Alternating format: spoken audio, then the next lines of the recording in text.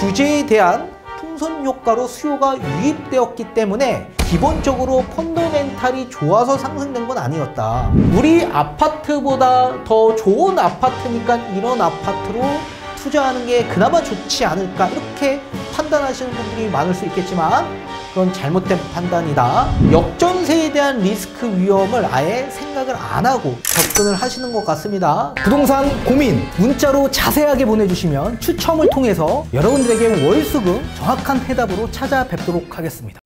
뒷번호 2414님께서 보내주신 부동산 고민입니다. 고양시 화정동 은빛 부영 11단지 8일 타입에 실거주하고 있고 최근 실거래가는 4억에 저는 주담대 2억이 있고 보유 현금은 5천입니다. 집을 매도하여 남은 자금으로 갭 투자로 서울에 진입하려고 합니다. 매매가가 4억 5천에서 8천으로 오를 때까지 기다렸다가 매도할지 지금 4억에 매도해야 될지 고민이고요. 지금 매도해야 된다면 대출 상환하고 남은 2억으로 홍제동 문화촌 현대 8호 타입과 관악 우성 87 타입을 보고 있는데 대표님 생각은 어떠신가요? 라고 보내주셨네요. 전문가님 답변 부탁드리겠습니다. 네, 지금 질문 주신 내용의 요지는 크게 보면 두 가지입니다. 지금 거주하고 있는 아파트를 지금 시기에 매도하는 게 맞는 건지 아니면 조금 더 기다렸다가 집값이 더 상승한 이후에 매도하는 게 좋은 건지 두 번째는 지금 거주하고 있는 아파트를 양도하고 그리고 월세로 거주하면서 나머지 차익 갖고 투자를 계획하는데 지금 보고 계신 아파트는 홍지동에 위치하고 있는 문화촌 현대 아파트 또는 봉촌동에 위치하고 있는 관악 우성 아파트 두 아파트 가운데 어떤 아파트에 투자하는 게 더 좋은 건지 여기에 대한 질문을 주셨습니다. 자 우선 답변을 좀 드려본다면 질문에 대한 답변으로 좀 풀어드리도록 하겠습니다. 그걸 봤을 땐 지금 시기에 매도하시는 게 조금 더 유리하시다. 그리고 두 아파트 좋은 아파트지만 우리가 투자적 가치로 판단을 해봤을 땐 이 두 아파트보다 더 좋은 투자처들이 있습니다. 그 투자처는 오늘 시간에 좀 말씀드리긴 어렵고 다시 한번 대면 상담 받으셔서 적절한 투자처 추천 받으시길 바라겠습니다. 그리고 다시 한번 배우자와 상담 받으셔서 계획과 전략 함께 세우셨으면 합니다. 자, 지금 거주하고 있는 아파트는 경기도 고양시 화정동에 위치하고 있는 화정역 인근의 은빛마을 어, 부용 아파트 여기에 지금 거주 중에 있다고 하셨습니다. 자 그리고 지금 홍제역 인접되어 있는 지역 일대 문화촌 현대 아파트 약 2000년식입니다. 그래서 20년 차가 이제 넘어간 아파트고요. 약 700세대 정도로 구성되어 있는 아파트에 투자를 계획하고 싶다라고 하셨습니다. 자 이번에는 서울대 입구역 인접되어 있는 봉천동 지역 일대 관악 우성 아파트인데 이 아파트도 약 2000년식 아파트고 약 1000세대가 넘어가는 아파트입니다. 그래서 앞에 보셨던 홍제동의 문화촌 현대와 관악 우성 아파트 투자를 계획하고 싶은데 어떤 아파트를 투자해야 좋은 건지에 대한 질문이셨습니다. 자, 뒤에 판소를 통해 왜 제가 반대를 해드리는지 그 이유에 대해서 풀어드리도록 하겠습니다. 자, 지금 경기도 고양시 화정동에 위치하고 있는 은빛마을 부용 아파트에 거주 중에 있다고 하셨습니다. 자, 지금 사연을 보게 되면 뭐 8일 타입, 8호 타입 기준에서 뭐 거주를 하거나 아니면 투자를 계획하는 아파트의 면적이 적혀 있는데 아마 공급 면적 기준에서 적어 주신 것으로 보여집니다. 그래서 전용 면적으로 봤을 때 5구 타입 20평대 기준에서 지금 거주 중에 있고 그리고 투자를 계획하는 아파트를 보고 계신다라고 판단이 됩니다. 자, 그래서 지금 현재 이 아파트 매매 시세를 보게 되면 시세가 약 4억 2천에서 4억 한 3천 정도 요 정도 금액으로 형성 중에 있는 상황입니다. 그래서 지금 거주하고 있는 아파트를 양도하고 좀 투자를 계획하는 게 어떠냐 이렇게 질문을 주셨는데 자 B라는 아파트죠. 우리 서대문구 홍지동에 위치하고 있는 문화촌 현대 아파트 이 아파트를 좀 보고 계시는데 이 아파트 평수 기준에서 보면 25평을 보고 계시는 것으로 보여집니다. 자 지금 현재 매매 시세를 보게 되면 매매 시세가 이 아파트 지금 현재 6억 2천입니다. 6억 2천 그리고 전세 가격을 보게 되면 현재 나와 있는 매물이 한 4억 2천 요 정도에 나와 있습니다. 그리고 또 C라는 아파트를 보고 계신다라고 하셨습니다. 여기는 관악구 봉천동에 위치하고 있는 아파트죠. 봉천동 우리 관악 우성 아파트라는 아파트가 있습니다. 이 아파트 26평을 보고 계신다라고 하셨습니다. 현재 이 아파트 매매 시세를 보게 되면 지금 매매 시세가 6억 7천 정도에 나와 있고요.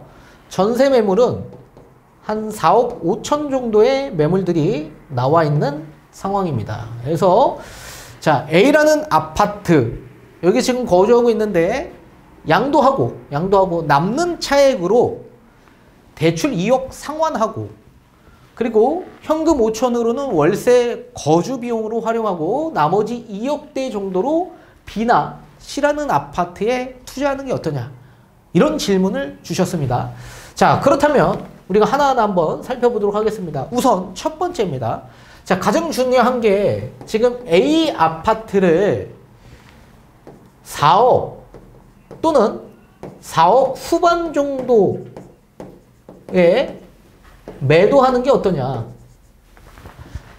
지금쯤 4억, 지금 시세가 4억 2천에서 4억 3천이니까 시세보다 조금 더 저렴하게 지금 매도하는 게 좋은지 아니면 집값이 더 상승해서 4억대 후반 정도 돼서 그 시기에 가서 매도를 계획하는지 어떻게 진행하는지 질문 주셨습니다. 자, 우선적으로 우리가 매도 타이밍을 좀 알아보려면 시세를 명확하게 판단해야만 합니다.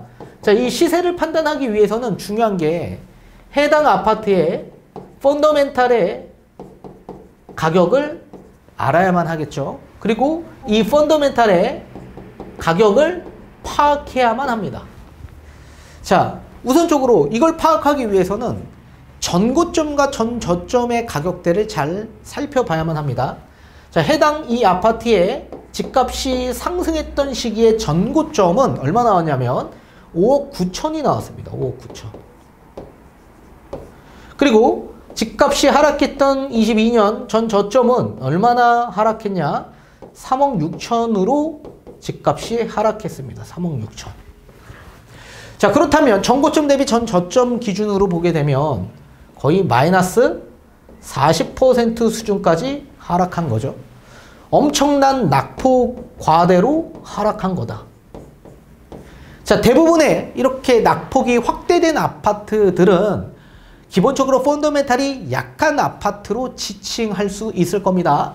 자, 제가 봤을 땐 이 아파트의 전고점은 아파트 상승률을 대입해 보면 이 아파트는 원래 5억까지 상승했었어야 할 아파트인데 거품이 잔뜩 껴서 올라갔기 때문에 낙폭이 확대되어 어, 집값이 큰 폭으로 하락한 거다. 이렇게 보여집니다. 자, 그러면 이 아파트가 왜 낙폭이 확대되었을까요? 그리고 거품이 왜 낀 상태에서 집값이 상승되었을까요? 자, 대부분 이 아파트 2020년 하반기의 매매 시세를 보게 되면 3억 아, 중반 정도의 시세로 형성이 되었습니다. 그러다가 갑자기 2021년 상반기에 딱 돌입하자마자 1억 5천 정도가 급상승해서 약 5억 정도로 갑자기 급등하기 시작합니다. 한두 건의 거래로. 그리고 하반기로 접어들면서 약 반기 만에 1억 정도가 상승돼서 이렇게 5억 9천까지 상승하게 된 겁니다. 원래 집값이라는 게 점진적으로 상승해야지 가격이 무너지지 않는데 이거는 단 한두 건의 거래로 갑자기 1억 5천 이상 상승을 해왔기 때문에 이 가격 하락폭이 커진 겁니다. 자, 우리가 한번 예전 시기로 돌아가 보면 대부분 대출 규제라는 게 있었습니다. 그 대출 규제의 풍선 효과로 이 아파트가 좋아서 수요가 유입된 것보다는 사실 그런 규제에 대한 풍선 효과로 수요가 유입되었기 때문에 기본적으로 펀더멘탈이 좋아서 상승된 건 아니었다. 우리 2021년 7월 이전까지 투기 과열 지구 내 9억 원이 초과되는 아파트에서는 이 DSR 40%가 적용이 되었었습니다. 그래서 가계대출 관리 방안 대책에 있어서 DSR이 적용되었었죠. 그러다가 2021년 8월 이후부터는 모든 규제 지역, 투기과열지구 조정 대상 지역 내에 6억 원이 초과되는 아파트에서는 이젠 DSR 40%가 전부 다 적용됐던 시점이 찾아왔었습니다. 그러다 보니까 6억 원 이하 아파트의 수요가 집중할 수밖에 없었겠죠. 6억 원 이하 아파트에 정부 정책 모기지 상품인 특례 보금자리 대출 또는 뭐 디딤돌 대출 같은 걸 받아서 40년 만기 2%대의 초저리 금리에 고정금리를 받아서 DSR 적용 없이 내 집장만 하는 그런 수요층들이 우리 같은 아파트를 볼 수밖에 없었다. 그래서 이런 아파트의 수요가 집중했던 결과 집값이 갑자기 급등하기 시작한 겁니다. 우리 KB 통계 자료를 보게 되면 어, 2021년 4월 정도에 경기도 평균 아파트 가격이 5억 원을 돌파했습니다. 딱 5억 정도가 됐었는데 약 7개월 만에 2021년 11월 달에 평균 가격이 경기도권 아파트 평균 가격이 6억으로 약 1억 정도가 7개월 만에 상승한 겁니다. 그 정도로 지금 6억 원 이하 아파트의 수요가 엄청나게 집중했던 시기가 찾아와서 이렇게 급등하게 된 거다. 그래서 원래 5억 정도 상승했었어야 할 정상적인 아파트가 거의 1억 정도에 가까운 금액에 거품이 껴져서 상승이 되었던 거죠. 자, 따라서 지금 우리 구독자님이 봤을 때 4억 후반대 정도까지 집값이 상승될 거냐 이걸 봤을 때 정상적으로 이 아파트의 정고점을 5억 9천으로 보게 되면 안 된다. 정상적인 아파트의 정고점은 5억 정도 수준이기 때문에 그러면 4억대 후반대까지 기다렸다가 매도를 한다? 그러면 거의 정고점에 가까운 금액대까지 집값이 상승되길 기다려야 되는데 지금 우리 해당 아파트는 그러기에는 굉장히 펀더멘탈이 약한 아파트이기 때문에 정고점에 근접하는 금액대까지 올라가기 어려운 아파트로 판단이 됩니다. 따라서 그 금액대까지는 올라가기 어렵고 그렇다면 지금 4억 정도 수준이라고 한다면 정고점 대비 80% 수준까지 상승되어 있는 상태에서 양도를 하는 거기 때문에 정고점 대비 80% 수준이면 매도 거래가 그나마 잘 이루어질 수 있는 금액대다라고 말씀을 해드렸죠. 따라서 4억이면 지금 그나마 거래가 잘 이루어질 수 있는 금액이다라고 판단을 하셔야 됩니다. 그리고 4억 2천, 4억 3천 이렇게 4억 초반대까지도 거래가 이루어질 수 있는 금액대지만 요 정도 금액이면 요 5억 기준의 정고점 대비 85% 수준이기 때문에 관망이 될 수 있는 금액대 수준입니다. 그래서 이 정도에는 거래될 수는 있겠지만 거래가 많이 되진 못할 거다. 그래서 만약에 급하게라도 지금 당장 빨리 매도를 계획해야 된다면 4억 정도면은 매도가 순탄하게 잘 이루어질 수 있을 거다. 이렇게 판단을 합니다. 그래서 4억대 후반대까지 상승 어, 되는 시점에 매도를 계획하는 건 불가능할 가능성이 있다. 따라서 지금 4억 정도 만약에 매도 계획을 세우신다면 지금 매도 계획을 세우시는 게 가장 좋은 방법이다. 그리고 두 번째, A라는 아파트의 실거주 아파트를 양도하고 B 또는 요 C라는 아파트에 투자를 계획하는 건 어떠냐? 이렇게 또 질문을 주셨습니다. 자, 그러면 우리는 투자적 목적이기 때문에 투자의 적합성을 판단해야만 합니다. 그리고 두 번째, 리스크에 대한 위험도가 있는지도 판단을 하고 접근을 해야만 합니다. 자, 일단 첫 번째는 투자의 적합성으로 우리가 판단을 해봤을 때 B와 C라는 아파트, 물론 좋은 아파트지만 이 두 아파트는 어, 미래성으로 봤을 땐 우리 재건축이나 리모델링이 추진되기에는 쉽지 않은 아파트다. 그리고 재건축 추진되기에는 사업성이 어, 결여되는 아파트이기 때문에 어, 미래 가치가 굉장히 어, 좋은 아파트라고 판단하기는 어렵습니다. 따라서 우리가 지금 당장 시세 차익을 보기에는 어려운 시기죠. 매도 매수 거래가 평균 거래량 그 이상만큼 막 어, 거래가 활발히 움직이는 시기가 아니기 때문에 우리가 단기적인 시세 차익을 보고 접근하는 시기는 지금은 아닙니다. 그렇다면 결국 장기적 플랜으로 우리가 어, 접근을 해야만 하는데 그 장기적 플랜으로 접근을 한다면 이 아파트들의 연식은 이제 30년 정도가 도래될 수 있는 아파트로 변화되는 거죠. 그런 시기에 결국엔 투자 적합성을 봤을 땐 재건축 또는 리모델링이 추진될 수 있는 그런 아파트냐라고 본다면 어, 적합성이 부족한 아파트로 판단이 됩니다. 그래서 우리가 투자를 계획하는 데 있어서 우리 아파트보다 더 좋은 아파트니까 이런 아파트로 투자하는 게 그나마 좋지 않을까 이렇게 판단하시는 분들이 많을 수 있겠지만 그건 잘못된 판단이다.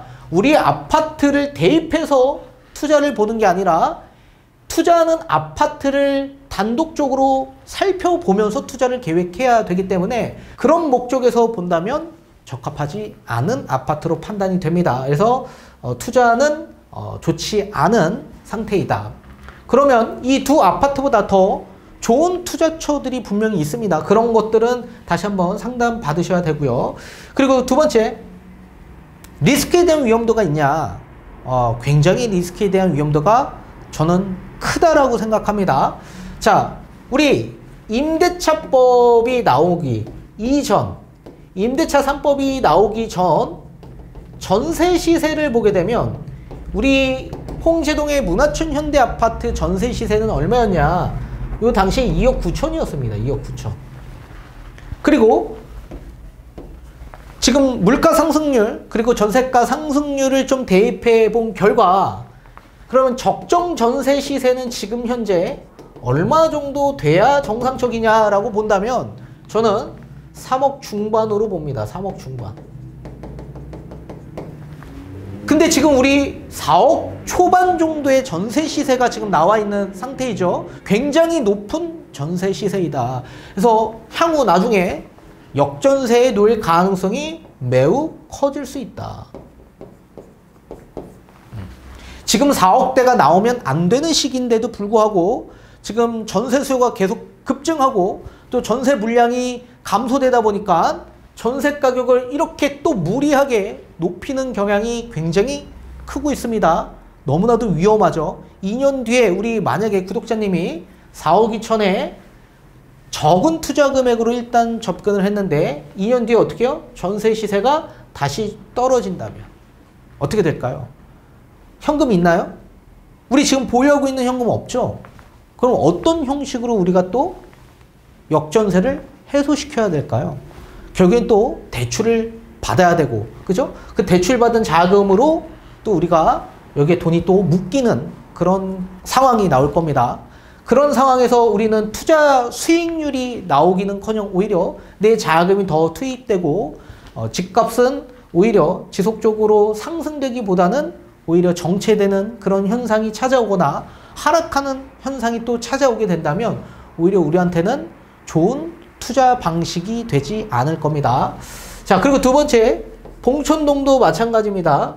임대차 3법이 나오기 전, 요 3법이 나오기 전에 전세 시세는 얼마 정도 됐냐? 약 3억 3천 정도 됐다. 3억 초반. 그러면 이 아파트의 적정 전세 시세는 얼마 정도 돼야 되냐? 이걸 봤을 땐 저는 3억 후반에서 3억 한 8천에서 4억 정도 요 안팎이라고 보여집니다. 근데 지금 전세 시세가 얼마죠? 4억 중반까지 전세 시세가 폭발적으로 상승한 겁니다. 너무나도 위험합니다. 위험합니다. 우리가 경험했던 역전세 또다시 경험할 이유가 없죠. 그런데 우리 구독자님은 지속적으로 지금 실거주 해왔던 분이시기 때문에 투자를 처음 하는 거죠. 그래서 역전세에 대한 리스크 위험을 아예 생각을 안 하고 인지를 하지 못하고 접근을 하시는 것 같습니다. 그렇게 되면 이제 또다시 우리가 재작년, 작년에 경험했던 역전세의 노인분들의 그런 어, 똑같은 위치에 놓일 가능성이 있을 거다. 그래서 구태여 우리가 이렇게 리스크 위험도를 높이면서 투자를 계획하는 건 좋지 않은 방향이죠. 따라서 만약에 지금 매도를 계획한다면 지금 4억대 어, 요 정도 금액에 원하시는 금액에 매도를 하시는 게 맞고 그리고 투자를 계획하는 데 있어서도 지금 리스크에 대한 위험도가 높아질 수 있는 아파트들이고 또 투자 적합성을 봤을 때 미래성에 어, 좀 적합하지 않는 아파트로 보여집니다. 따라서 리스크에 위험도가 없고 또 투자 적합성이 더 좋은 그런 투자처를 보시는 게 훨씬 더 좋겠죠. 다시 한번 배우자와 다시 한번 나오셔서 상담 받으시고 계획과 전략 그리고 투자처 다시 한번 추천 받으시길 바라겠습니다.